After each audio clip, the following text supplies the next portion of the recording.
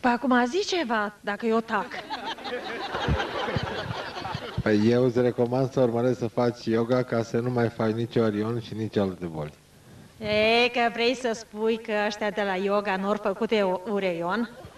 Au făcut, dar când erau mici. Dragă, da, dar eu de-abia acum sunt mică. Atunci tocmai de aceea să încep să vii și de la yoga. Să știi că am venit ca și să v-am rugat crești. pe Costică că m-au dus copiii acolo la Heleșteu cu, al- cu apă să mă scald și eu. Și m-au băgat în apă, bre, vreau, am vrut, nu, îți cântă, trebuie să joci ca ei.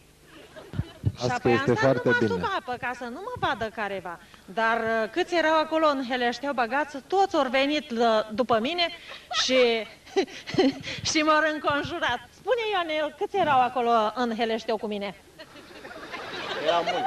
Deci erau mulți, spun. Deci în felul acesta au putut-o admira pe Valentina. Nu cu pielea goală, că am stat sub apă. E, da, da, chiar și sub apă se vede. Nu Dar spui tu. Și atunci, spunându-le eu la copii cum am scăpare așa și câte o ieșire de pe acasă, Costică numai decât uh, cel de la tipografie. O venit, uite, cu o carte cu dedicație, că la Iași când mă întorc, să, să le spun la ai mei că am fost iar la o lansare de carte. Foarte bine, în felul acesta ai ce să le spui. Uh, Grig, uh, spunea un mare domn astăzi, care e regizor de filme, că vrea să facă un film cu noi. Eu sunt de acord. Deja a început. Mă bucur. Nu-i nimic, o să ajung și eu în vara asta la Hollywood cu filmul românesc. Foarte bine, să știi. Și Ca nu anul numai trecut la am fost Hollywood, și la invitată. Cannes. Cum? Și la Cannes, Ai, acolo n-am fost, nu în știu. Franța. Nu, acolo era o clădire unde am fost uh, anul trecut, așa se chema Hollywood. Și m-am întâlnit cu români, românii m-au invitat. Și acum o să fiu mândră dacă îmi dați și mie un capăt de film să le duc, să le arăt că sunt și eu vedetă lângă Grig.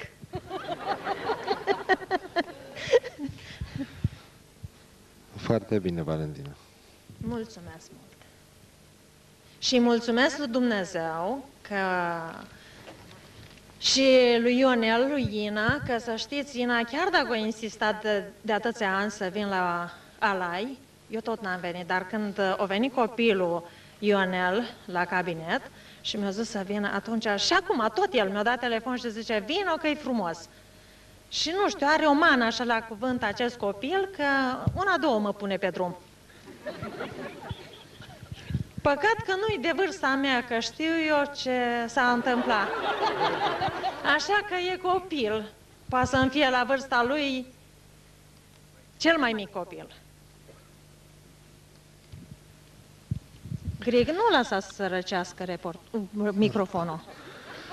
Nu, nu las și te rog să ne mai spui ce anume ai perceput la aceste spirale. Deci astăzi. Uh, Mi-a plăcut foarte mult, pe rând, dar vezi că eu nu prea pricep să zic ca voi așa vorbe, că aș Deci repeta de Spune zor. cu vorbele tale. Uh, Deci, când uh, s-a aprins uh, bolta aia albastră și toate firele albastre și-a venit alaiul ăla de lumini peste noi, după aceea, când ai mai zis, nu știu ce oare ce vorbă, s-au au venit alte culori, un violet așa roșcat, s-au aprins iarăși becur, becurile roș- roșie la noi toate și foarte multă culoare am avut în jurul nostru de tot soiul. Și uh, am Deci plecat culori să- multe Culori multe. și luminoase. Nu luminoase, teribil de luminoase. Așa. Cu ochii fizici nu sunt asemenea culori. Îmi pot aduce aminte foarte bine că am văzut cu ochii fizici. Nu există culoare mai frumoasă ca asta. E ceva transparent, ușor, ceva care te schimbă total culori, culorile. S-o deschis la toți oamenii uh, și cu culori frumoase și mai puțin frumoase, veniți aici, uh, dar când ai început tu, uh, la toți s-a aprins becul alb, becul roșu și becul verde. Și după aceea, treptat, becul galben, albastru. Deci Valentina vrea să spună că s-a activat Muladhara Chakra, Shahasrara, Anahata Și Manipura. portocaliu. și Svadhisthana. Dar vezi tu care e hârbuit la becuri, dacă vine aici toți și le dregi un pic. Cât de hârbuit ar fi? Deci tocmai de aceea, iată că în felul acesta vă mai aranjați centrii de forță cei care sunteți cu probleme la nivelul lor, vrea să spună Valentina. Uh, Grig, am o rugăminte și nu vreau să o pun pe Petruța în situație neplăcută, dar poate tu și prezența tuturor oamenilor de aici poate să o ajute să, să ridice moral, că fata este foarte picată, că au speriat-o nemții, care o boală foarte ciudată. Eu, când am întâlnit-o, că m-a căutat, i-am spus că nu e adevăr, adevărat ce are. Dacă vrei să o chemi, o cheamă Petruța. Deci, sigur, să vină și ea aici și în finalul acestei conferințe am să discut cu ea. Să vină încoace Petruța. Uh, vă rog să o susținem toți uh, moral, că de, o căzut-o, e, copila este ca un uh, ciulin stins. O să-i facem în încheierea acestei conferințe o binecuvântare toți cei și care nu sunt e aici. adevărat că nu are cancer. Și până nu va veni pe locurile ei unei rădăcinile să aibă legătura cu pământul și cu cerul pe acest loc, uh, copila bine nu se va face. Deci aici Valentina sugerează ceea ce cei care se ocupă de medicinile naturiste numesc a face cură de loc natal. Adică atunci când ai mari probleme de sănătate sau te simți foarte rău, să te întorci în locurile unde te-ai născut și în felul acesta să refaci legătura cu energiile benefice, creatoare pe care le-ai captat atunci când te-ai născut că nu întâmplător Dumnezeu ne-a lăsat pe această bucată de pământ și cu asemenea suferință să fim subjugați, dar noi când ne facem o leacă măricei și prindem aripi, prindem gustul puterii, averii și plăcerii și o luăm razna. Gândim că ne așteaptă câinii cu colaci în coadă în Germania, în Franța și în lume. Dar uh, dorul de acasă și energia, legătura cu pământul, cu copacii și cu plantele, nu sunt pe alte meleaguri, sunt la noi. Acei care sunt născuți în Franța, în Anglia, în Germania sau oriunde, ei au locul lor energetic acolo și lor nici când nu o să le priască la noi. Lor le priește că au ceva bănuți care zvopsiți verzi și la noi deschid afaceri și cum mai pune cloșca, scoate pui, scoate bani mai mulți și ne fură pământul de sub picioare cu cumpărăturile. Am ajuns. Să rămână. Nu, mie. Pupă și pe Grig, că uite cât e de frumos. Dați voie? Nu-ți cere voie, te rog, pupă ce cu voie? Mulțumesc mult de tot. Sunteți minunați. Toți suntem minunați în fața lui Dumnezeu. Deci, în final, o să îți oferim o binecuvântare care să te ajute foarte mult și să te facă să te simți altfel moral Și, pentru multe luni de zile de acum Ieși înainte. jumătatea și vină la tine acasă pe prispă până te faci bine și apoi te mai duce pe acolo cu vorba. Da. Mulțumesc de sfaturi. Și fără emoții, pentru iubirea. tot. Mm, mai trebuie să lucrez la asta. Ne Cu împingem unii pe emoții. alții să ieșim pe tărâm. Uite Grigune ne-a adus până acum. Pe care are loc fiecare după el. Tocmai sus pe toloacă ne-a adus. Și nuanța aici spune pe cărare după Dumnezeu. Uh, Grig, nu există pe pământ al doilea Dumnezeu, dar ție ți-o dat Dumnezeu de acolo de sus, așa învățătură și înțelepciune, să îndrum pe fiecare, să-i arăți drumul. El arăți o dată, de două ori, de trei ori, dar dacă el nu pricepe, să se ducă în drumul lui. Nu, eu îl arăt de mai multe ori pentru că repetiția e mama învățării.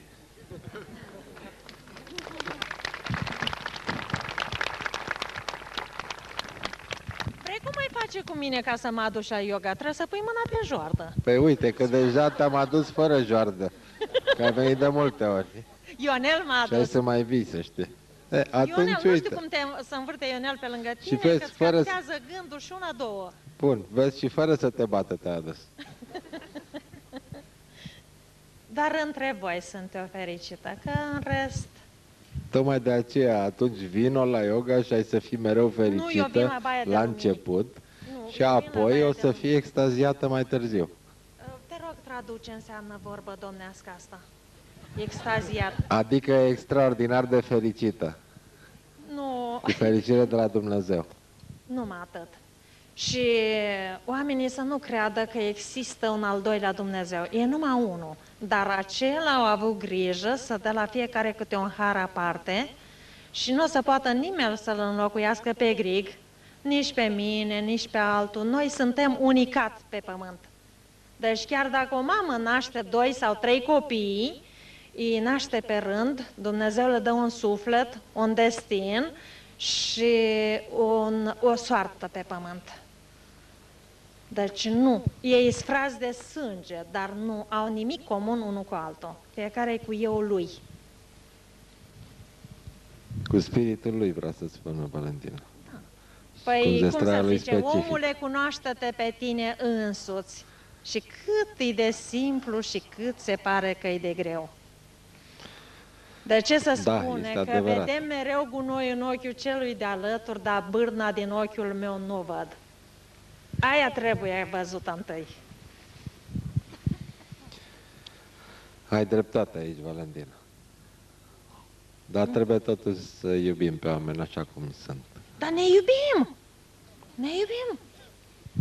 Doar de atâția ani văd eu cum vin perechi care să iubesc și apoi când pleacă de la mine să duc amețiți ca musca dată cu flit, Amețiți de vezi- fericire.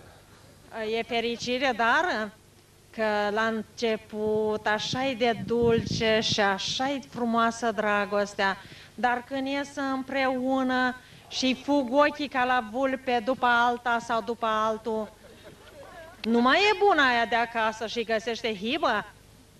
Vine cu alta la iar Maroc și atunci oare cum e în fața lui Dumnezeu când o beață, deci 10-15 ani de căsnicie, ești un întreg în fața lui Dumnezeu și când îi fuge ochii la unul sau la altul și îți găsesc hibe, aia nu-mi place.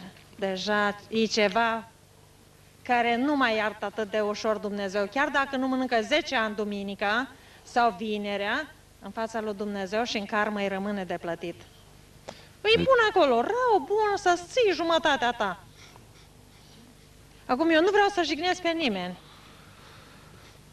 Că știu eu, dacă aveam ani mai puțin, poate aveam și o pârpâră. Și îmi pica ceva cu tronc. Îți place, a? Zici, bre, că nu mă pricepe lumea. Uite că... Ba văd te că mă pricepe, pricep. să știi, pentru că deja au început să-ți învețe expresiile din celelalte casete care au circulat și acum deja sunt la curent cu ceea ce afirmi.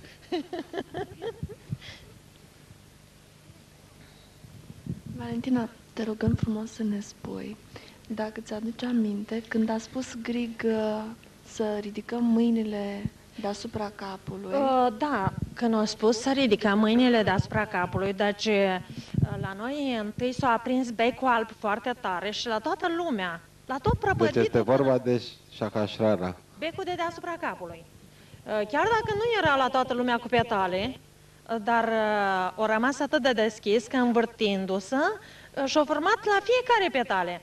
Iar uh, după ce s-au făcut toate astea, când s-au pus mâinile de deasupra și s-au atins degetele, deci în uh, vârful, dege- în vârful degetelor noi avem beculețe care uh, corespund cu cotrobeile din noi. Și când uh, Sunt niște ceacre secundare care se și găsesc când acolo. s-au pus uh, mâinile așa, deci s-au pus uh, ca o umbrelă să nu te ploaie, așa s-au pus și becul nu mai rămas mare, mare, așa ca o roată deasupra capului. S-a adunat înapoi la nivelul lui normal și și-a luat uh, luminile care vin de sus, forma să curgă normal prin uh, restul becurilor în jos. Da, Ina, te rog, mai îmi întreabă-mă.